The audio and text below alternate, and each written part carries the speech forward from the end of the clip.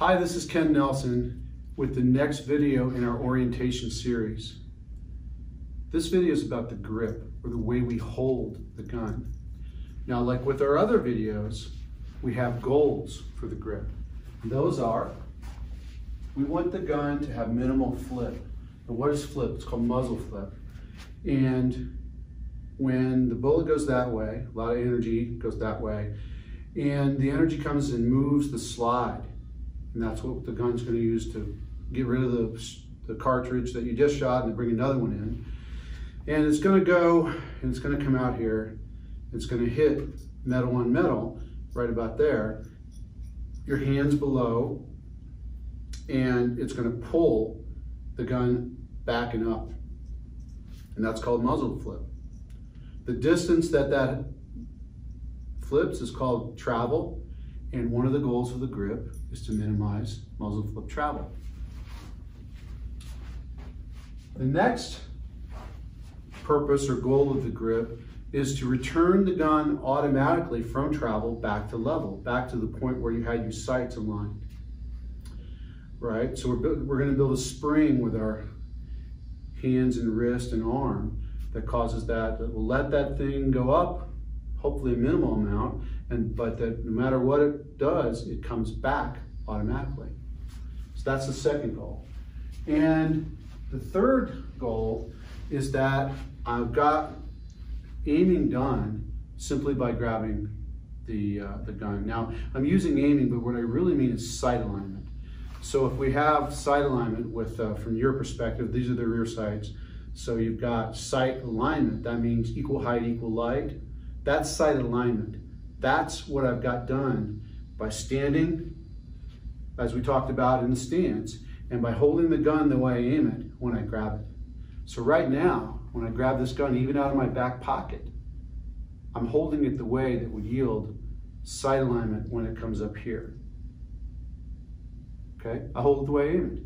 When I add this hand, I add it the way I aim it. Super important. That's part of our early doctrine. The earliest I can aim left and right is right now standing. The earliest I can handle the up down and make sure that the left right's correct is right now the minute I grab it. It's right. It always comes up right. If it ever doesn't, that's a crisis. I want to have my alignment done early. Okay, so those are the goals. Now the grip, I've tried to distill the steps of building grip down to three things. It's obviously more complex than that. And you know, as you go through your shooting life, you'll adjust your grip and, and try this and try that. It's infinitely complex, but I think these three steps from an orientation perspective are gonna get you in the ballpark. Now, the first goal that I have, the first step is thumbs high.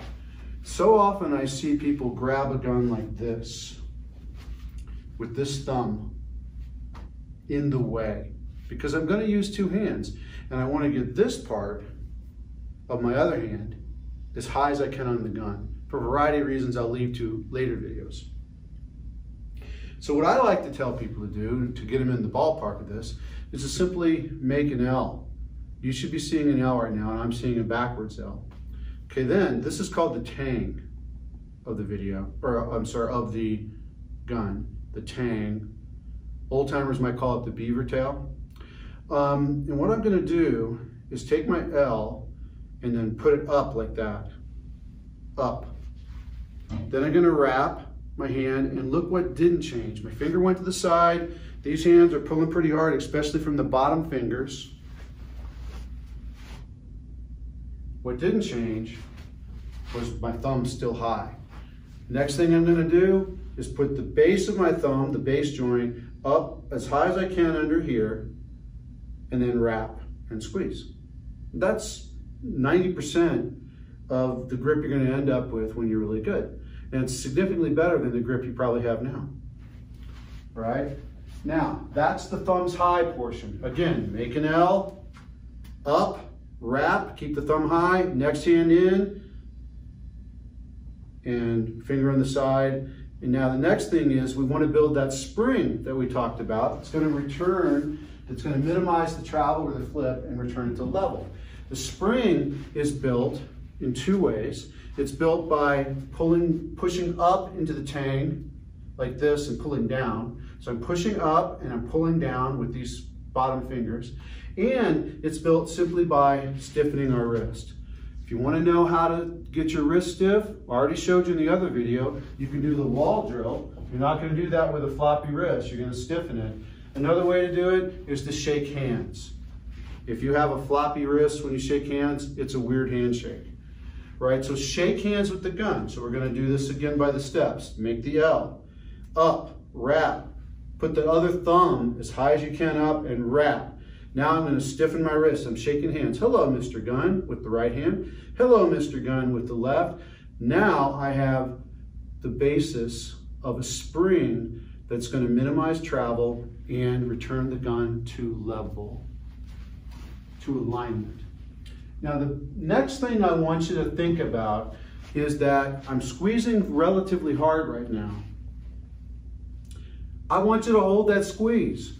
The biggest reason people miss is because their grip changes when they shoot, when they pull the trigger or, or when they know the recoil's coming. Whatever reason, people want to do this. I see a lot of this.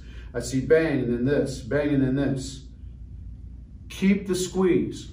So again, the steps are make the L, thumb high, put it in, pushing up on the tang, wrap, pull down with these fingers. My thumb is still high. This thumb's gonna come in, same thing.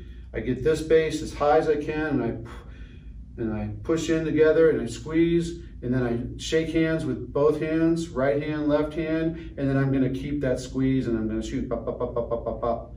And the gun's gonna be very well behaved, which is my goal with the grip. It's going to minimize the flip, return that flip to level, and uh, we're going to do it in a way that we hold it the way we aim it. So what do I by, mean by holding the way I aim it? That's the, the next part. Basically, what we're going to do is aim. Hmm. I'm going to remember this angle. You know, because I could I could stiffen my wrist this way. That doesn't work. I could stiffen it this way.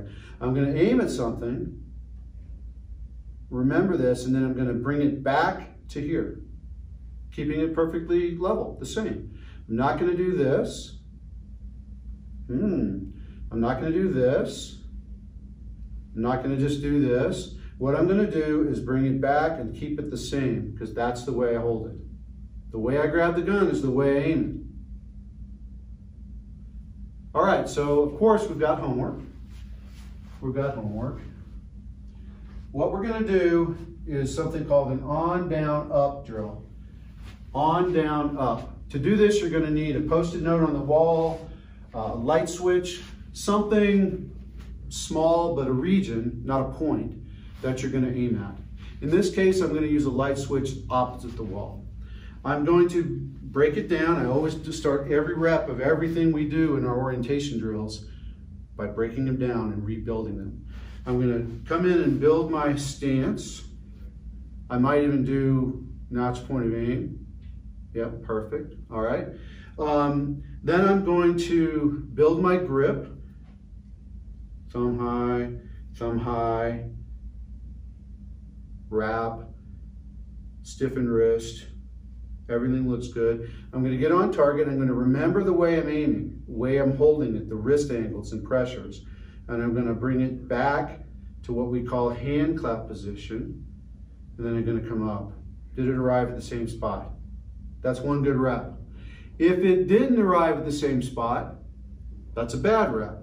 If you had to do something to get it to move to the right spots, let's say that I did this, right? And I had to adjust it on my way up, bad rep. What we want is where that's the way I am and I'm on the target, I'm down, and I'm up and I change nothing. No grip pressure change, no grip angle change. That's called the on, down, up drill. 10 times. 10 reps twice is one set. Do that twice a day. This is the third most important move in shooting. It's so important because everything we do basically manipulation wise, goes through this process. If I reload, I'm back, I'm up. If I pick it up off a table, I'm to here, I'm up. If I'm coming from my back pocket holster, I'm here, I'm up. If you get this move right, you fix so many other problems. It's the way to the fastest draw that you can do, where you always get a hit. Right? So do the on, down, up drill. 10 sets of, or two sets of 10 twice a day. For extra credit, if I'm on number eight, correct in a row, and I get number nine wrong, I go back to one. Right? I like to have consequences when I train. All right, now the next part of your homework is called the hold the pressure. This is a timed drill. We're going to do 60 seconds of holding the pressure. Right, 60 seconds. What I'm going to, you don't have to hold the hands up. You don't have to do that. You can. I do. But I also do this when I'm sitting down watching uh, TV or in a meeting. You don't need a gun. What you do is you set your grip pressures, you set your grip angles, and you hold it. You can count one, two, three, four, five, six. You can set your phone timer to 65 seconds. That gives you five seconds to build it, and then it'll let you know when your 60 seconds are up. Now, this is doing two things. Doing two things. One is it's teaching you that the way you hold a gun is by keeping the pressure. But the second is that by doing that, it's letting your brain and your nervous system know that this is important to you and it needs to build pathways. It's going to make your grip stronger even without working out because it's going to recruit all the muscles and all the nerves to this obviously important task since you're doing it so often. It's the, the analogy would be that you have an eight cylinder engine in this in your in your hand car um, but until you did this, you were only using two of them. So it's going to increase your grip pressure simply by recruiting all the muscles. Um, and it's, uh, it's one of these things where the leading cause of missing is changing the grip pressure when you pull the trigger. So it'll teach you to hold it. Um, 60 seconds, five times. How much rest you need between each? I like to rest, you know, just from a physiological perspective, I rest until my hands are not tired at all anymore. We're not trying to do this to failure. That's actually a recipe for, for not building the strength and the, and the muscle memory you want. So do a set of 60 seconds, hold it the entire time. If you have trouble, make that your new goal. If you can only get to 45, that's fine. Anything is better than nothing. Um, and then rest or do some other drill, some of the other homework, until your hands are, are perfectly comfortable and ready to go another 60 seconds. All right, so that's the, the, the grip. Hey, this is an overview and orientation. I'm trying to get you guys to build in key muscle memories that are going to serve you for a lifetime. I'm not trying to give you the perfect grip or the grip that you're going to end up with with your Glock versus the grip you're going to end up with your 1911. What I'm trying to do is give you the foundations that will build an effective grip on anything you pick up throughout your shooting life. Remember, do your homework. It's only you that benefits and only you that, that doesn't benefit if you don't do it. I'm not going to judge you. I know you got it in you because you're watching this video and you came to class. So I know you want this. So do your homework and I'll see you on the range.